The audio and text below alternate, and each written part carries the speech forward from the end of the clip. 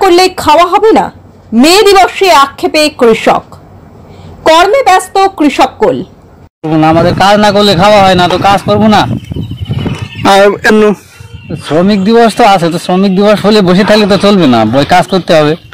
করছি মাঠে মাঠে আমাদের এই কাজ না করলে খাব কি? মানে খাতার জন্য? হ্যাঁ।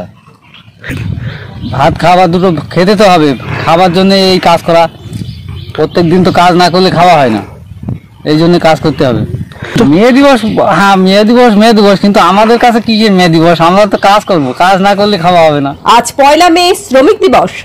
বৈশাখের আকাশে গনগনে সূর্য প্রখর উত্তাপে যেন জ্বালিয়ে ছারকার করে দিচ্ছে প্রকৃতি।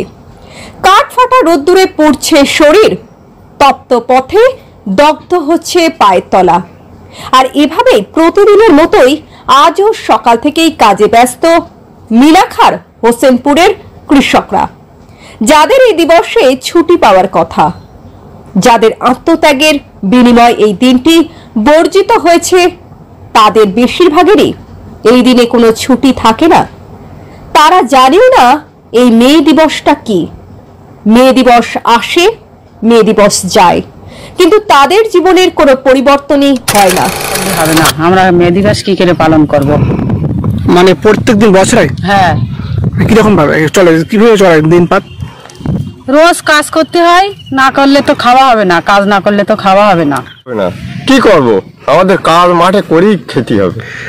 বুঝতে পারছেন না। না এই দিনটাও অন্য দিনের মতন। মানে তাই? প্রত্যেক দিনই কাজ করতে হবে আমাদের।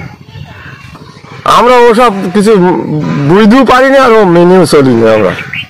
উত্তর চব্বিশ পরগনা থেকে শ্যাম বিশ্বাসের রিপোর্ট ক্রাইম ব্রাঞ্চ।